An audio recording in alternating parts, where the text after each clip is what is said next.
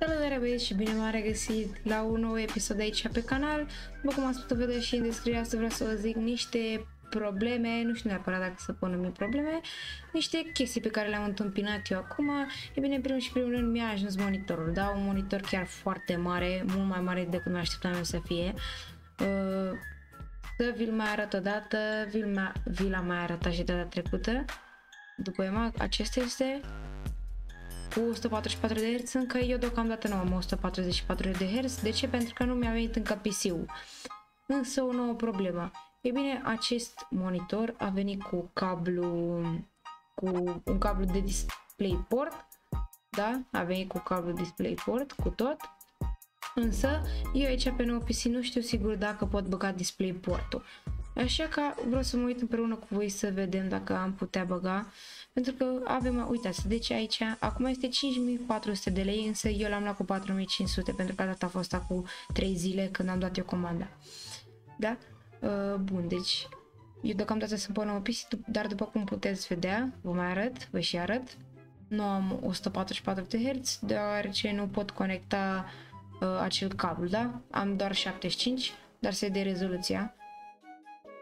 Uh, bun, am doar 75 de Hz, însă nu este problemă, voi lega la nou PC dacă va merge. Hai să vedem ce porturi putem băga. Deci putem băga uh, PS2 mouse tastatură, uh, suport audio 5.1, USB 2.0.2 și USB 3.0.4.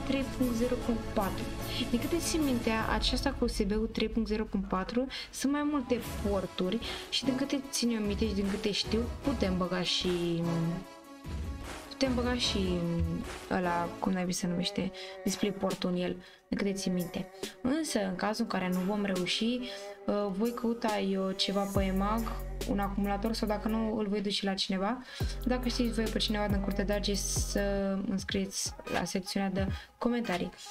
În rest, tot ce vreau să vă zic, eu am dat comanda de PC, mi-a venit notificarea că a fost confirmat și că voi primi un e-mail de la uh, curier. Sper să vină întreg, să nu fie nicio problemă cu el și sper să vină cât mai repede. Săptămâna asta nu cred că va veni, poate săptămâna viitoare sper, dacă nu, habar nu am. Dar eu l-am luat cu 4500, văd că acum e 5400. Și dacă o să ne vină și să avem și display portul, păi o să rupem mai băieți cu 144 de Hz. După cum a zis, PC este mult, mult mai mare decât mă așteptam, da? Are diametru de 23,6, deci este chiar imens. Deci chiar vă zic, este cât un televizor. Și da, am dat 800 de lei pe el, cu tot cu transport 850 în total. Și cam atât am vrut să vă zic un episod mai scurt, am vrut să vă zic cu un altea, PC-ul trebuie să ajungă de cărurini și o să ne putem juca o grămadă, o grămadă de jocuri, să facem și live-uri. Și dacă știți, în cazul în care dumneavoastră știți că putem băga, sau voi, mă rog, știți că putem băga DisplayPort-ul, vreau să mă anunțați și pe mine să ziceți, bă, poți băga DisplayPort-ul. În secțiunea de comentarii, mă rog, în descriere mai exact, vă voi lăsa linkul de la acest PC și linkul de la monitor în cazul în care vreți să le achiziționați și dumneavoastră.